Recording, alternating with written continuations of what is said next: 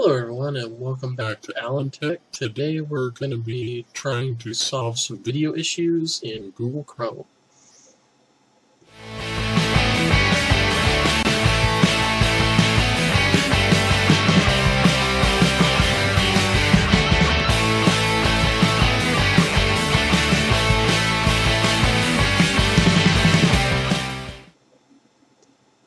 Alrighty.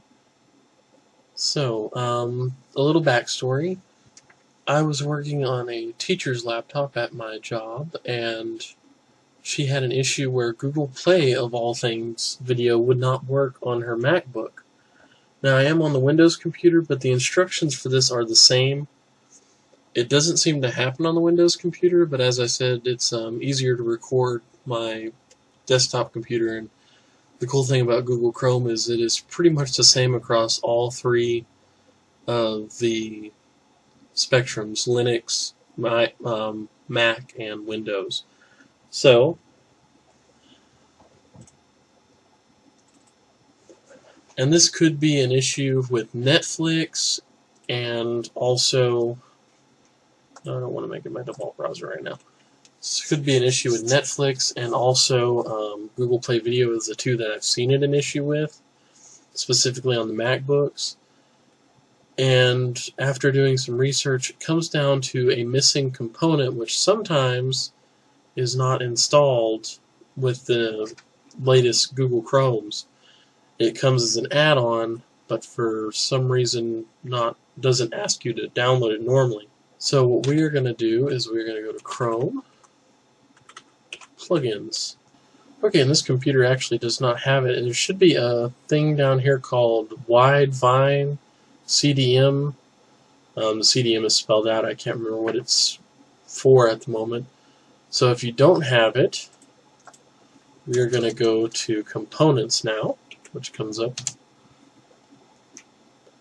Ah, here it is. And see, we want this one down here see where it says version 0000, which means it hasn't been updated, which means there is it isn't on this computer at all. So we will check for the update.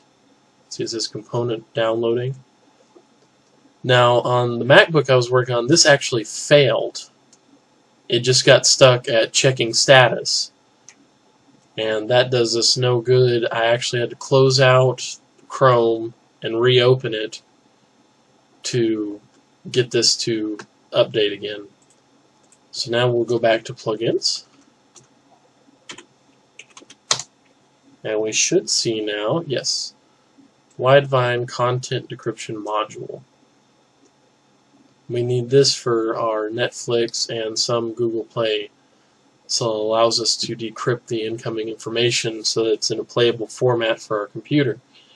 Like I said, I haven't run into this problem on the Windows computers, although I don't use Chrome that much on Windows computers. I have used it for Netflix before and with no issues. But now this is on there and should be working. Um, I usually go ahead and just close out Chrome anyway.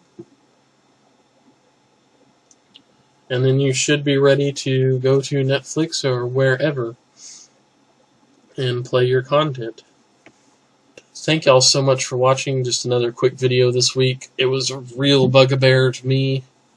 Took me quite a while to figure it out, so if this helps somebody, I will be very grateful that somebody else can get something out of this. So, thank you all again for watching. I do thank you for all the comments and everything that's coming in. Thank y'all so much for um, just watching videos. Those are subscribing, thank you. Um, if you like this video, please like it. If you don't, well, let me know what I did wrong, what I can do better. I'm still learning. Some things still can't do. So, thank you, and I will see all y'all next time. Bye.